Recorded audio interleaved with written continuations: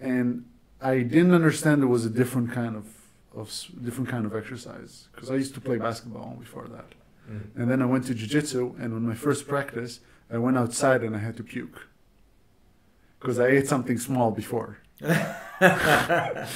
Like I ate Classic. something small and then just Classic go for, yeah. So Classic white belt thing. yeah. I'm joking. You've been high. It's all right. It's all right. I deserve it. I don't. Uh, I don't. I take it with pride. Um, I think it pride. Yeah. So, yeah. So I think like when you go to jiu-jitsu, you should expect different kind of exercise, even if Oh, you're in yeah. good shape. Yeah, yeah, hundred percent.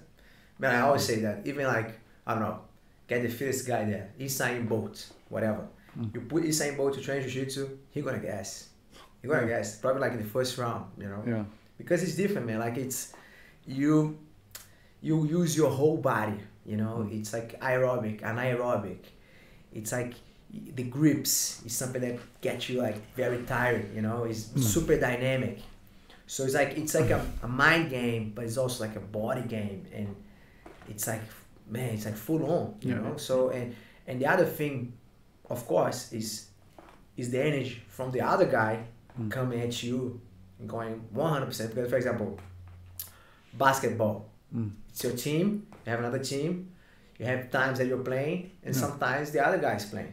So you Yeah. don't play the whole time, right? Yeah.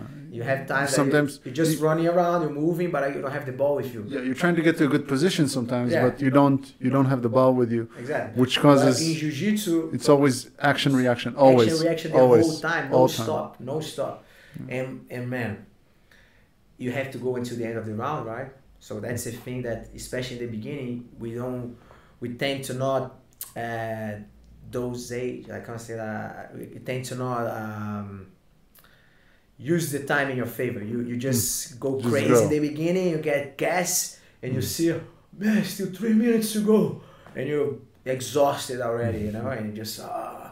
So like you have to be smart in the way that you, you train, you know, like you Yeah. think that you have to f- to roll and you have to last until the end of the Yeah. round. I'd say I'd say another thing. If I it's a little bit off topic, but if I combine jujitsu with gym, okay, specifically lower body, yeah, okay, lower body and core, yeah. really helps to prevent injuries. Oh, 100%. Really helps 100%. prevent injuries. So we have we have to do like our homework. Like if you want to train jiu-jitsu and you want to think about longevity and being the journey without like injury free, Mm. uh, we have to do some some Stretching, some stretching. You know, it's so important, man. Like. Mm.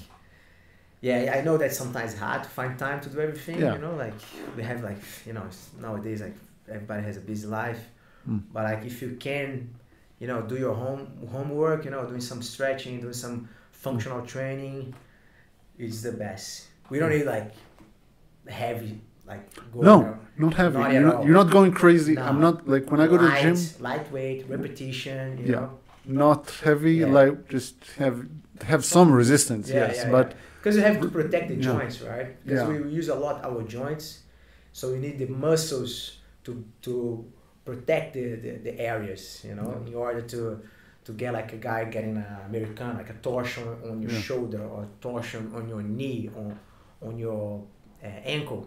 So you need to to build your body a little bit, you know. yeah, I'd say. Um, okay, I'm just I'm gonna I'm gonna skip this part. We have uh, get it how to get ready for a comp. No, yeah. yeah. You know what? Let's talk about this. Getting ready for comp.